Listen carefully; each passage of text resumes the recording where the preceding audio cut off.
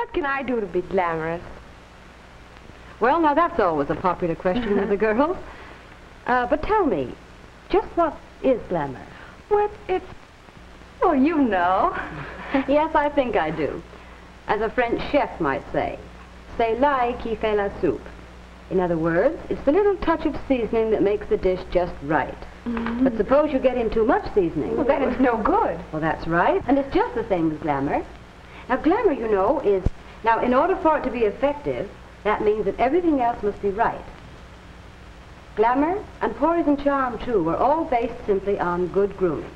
Mary, poise and charm are personality traits. What do they have to do with clothes, makeup, and hair? Well, poise, you know, is simply a state of mind. It comes as a result of confidence in the way you look. If you know you look well, your clothes are right, your makeup natural, your hair neat, the assurance of all these things brings with it that elusive poise. So, poise comes from good grooming. And charm.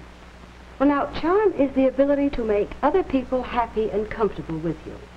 Now, that means that you must forget yourself and concentrate on putting the other person at ease. Right? Right. And I assure you, no woman can do that successfully if she's worried about the way she looks. Uh, is her lipstick on straight? Uh, has she a run in her stocking? Or uh, is her hemline even? So you see, good grooming comes right in at the front door again. Why, Mary, I never thought of it that way.